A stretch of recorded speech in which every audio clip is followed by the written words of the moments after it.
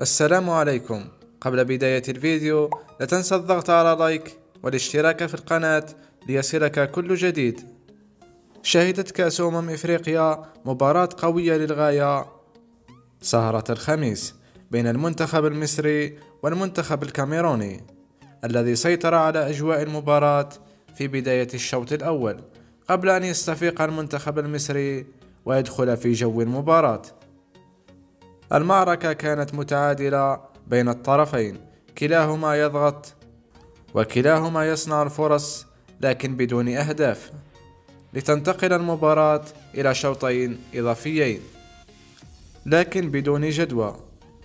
ليحتكم الفريقين إلى ضربات الترجيح التي تألق فيها حارس المنتخب المصري محمد أبو جبل والملقب بيجاباسكي حيث وفي لقطة أثارت جدلا واسعا في مواقع التواصل الاجتماعي حيث كتب حارس المنتخب المصري في قارورة الماء التي كان يحملها أسماء اللاعبين وأماكنهم المفضلة للتسديد حيث حذر كل هذا قبل المباراة لتكون توقعاته كلها صحيحة تقريبا ويتصدى لركلتي جزاء ويمنح المنتخب المصري ورقة العبور إلى النهائي.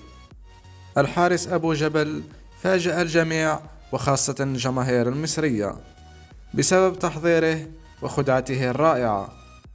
ونال كل الشكر والثناء من الجماهير المصرية.